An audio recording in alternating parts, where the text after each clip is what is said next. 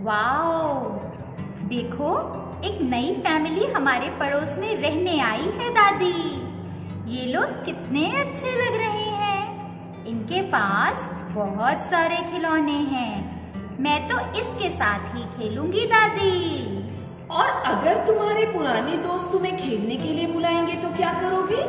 कोई बात नहीं उन्हें मैं कह दूँगी कि मैं व्यस्त हूँ। वो तो वैसे ही बहुत बोरिंग है दादी। ओ मैं समझ गई। अच्छा क्या तुम एक कहानी सुनना चाहोगे जीना? हाँ दादी अब मज़ा आएगा। ये कहानी सुनेंगे। तो सुनो और हाँ ध्यान से सुनना। मैं कहानी खत्म होने के बाद तुमसे पूछूँगी कि तुमने इस कहानी से क्या सीखा। ओके दादी। तो फिर सुनो इस कहानी का नाम है अमीर बिल्ली और गरीब कुत्ता। एक बार की बात है, एक छोटे से बकरी के बच्चे का नाम था मिंकी। मिंकी हमेशा मस्त मौला रहने वाली बकरी थी, जो हमेशा खेलती और मज़े करती रहती थी। उसका सबसे अच्छा दोस्त एक कुत्ता ब्रूनो था, जो एक छोटे से घर में अपने मालिक के साथ खुशी खुशी रहा करता था। मिंकी और ब्रूनो दोनों बहुत बड़े, अच्छे दोस्त थे और हमेशा एक दूसरे के साथ खेला करते थे। एक दिन एक नया जानवर उस कॉलोनी में रहने आया, जिसका नाम था एंजल। एक सुंदर सी पारसी बिल्ली। वह एक अमीर परिवार की पालतू जानवर थी। एक दिन हमारी मिंकी उस अमीर बिल्ली से मिलने गई। हे ये किस तरह का जानवर है? हे तुम कौन हो? मैं एक बकरी हूँ। मेरा नाम मिंकी है। बकरी? ये बकरी क्या होती है? मैंने इसके बारे में आज तक न सुना है और न पहले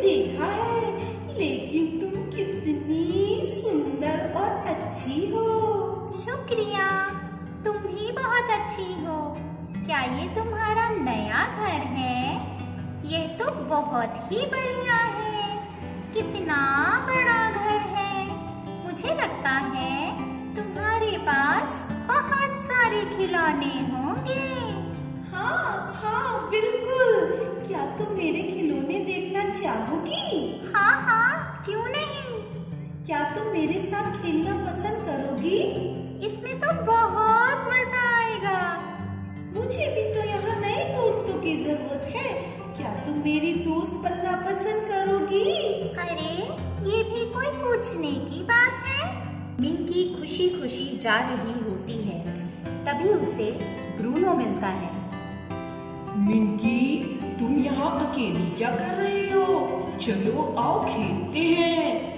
हम्म, नहीं ब्रूनो आज नहीं। अभी मुझे थोड़ा काम है। बाद में मिलते हैं। इस तरह मिंकी रोज एंजल के साथ उसके मालिक के घर जाने लगी। एक दिन ब्रूनो ने उसे देख लिया। ओ तो ये अपने नए दोस्त के साथ खेलने जाती है, पर उसे मेरे साथ खेलने में क्या परेशानी है? उसी दिन शाम को मिंकी घर वापस आ गई तभी अचानक आसमान में काले घने बादल छा गए। ओ, यहाँ तो अंधेरा छा गया। मुझे लगता है तूफ़ान आने वाला है। अरे वहाँ एंजल के मालिक का घर है। वहाँ चलती हूँ।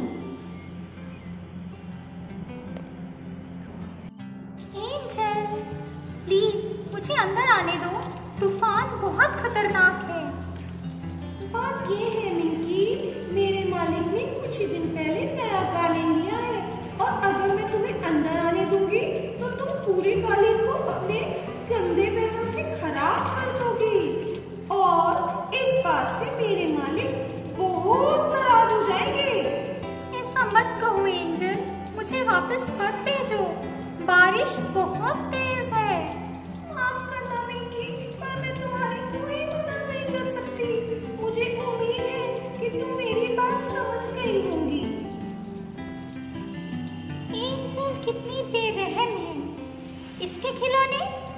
काम की नहीं। इसने मेरी कोई मदद नहीं की। क्या दोस्त ऐसे होते हैं?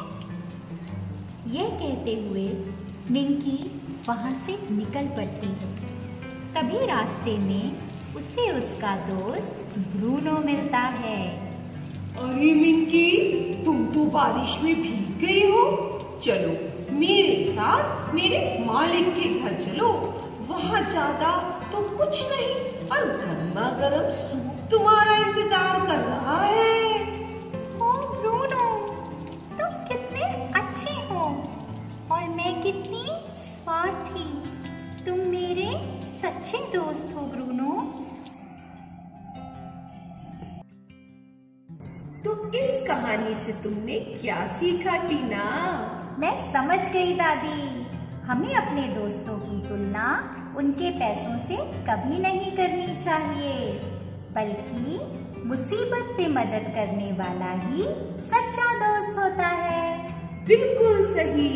अब जाओ और अपने दोस्तों के साथ खेलो। ओके दादी आज आपने बहुत अच्छी कहानी सुनाई। आप बहुत अच्छी हैं दादी।